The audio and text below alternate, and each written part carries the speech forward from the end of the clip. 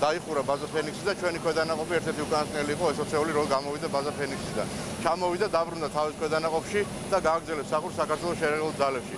მინდა გითხრათ რომ ძალიან კარგი შეფასება მიიღო ამ ოცეულმა. მე მქონდა შეხვედრები სხვა სხვა რანგის ხელმძღვანელობასთან ამერიკულ მხარესთან და შეფასება იყო ძალიან კარგი და საუკეთესო ამ ოცეული. დღეს სამშობლოში დაბრუნდა პირველი კვეთიფიკაციის მე-13 ბატალიონის გაძლიერებული ოცეული რომელიც ავღანეთში ქალაქ აბულში ბაზა ფენიქსზე 5 თვის განმავლობაში ასრულებდა მისიას.